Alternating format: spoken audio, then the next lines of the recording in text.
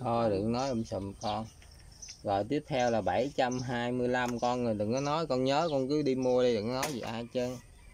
725 sáu con sơn liễu đừng có bực bội gì trơn sư phụ không có muốn bực bội. Vui vẻ lên đi. Sáng ngày con ra con quạo quọ đem năng lượng xấu rồi. Cứ vui vẻ cười lên đi. Cái gì ba chuyện nhỏ nhặt đó mà có gì đâu mà làm mình buồn. Rồi quý vị ơi tiếp theo á là 6 cây ờ, sơn liễu 600 ờ, thấy không? Thằng này nó làm tao mất hứng rồi. Đang quay mà cứ vậy nói chuyện cái cái đem năng lượng xấu cho mình rồi. Bực bội ghê như mày, tao đang tu như mày. Gặp trước rồi tao cho mày lên đường rồi nha con. Rồi, thôi. Nói 725 6 cái sơn liễu.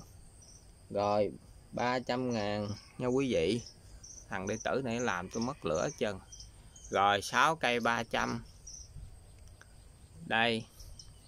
Có một cây viết không mà anh làm thấy ghê không? Rồi xuống luôn. Ba cây này ba cây tước.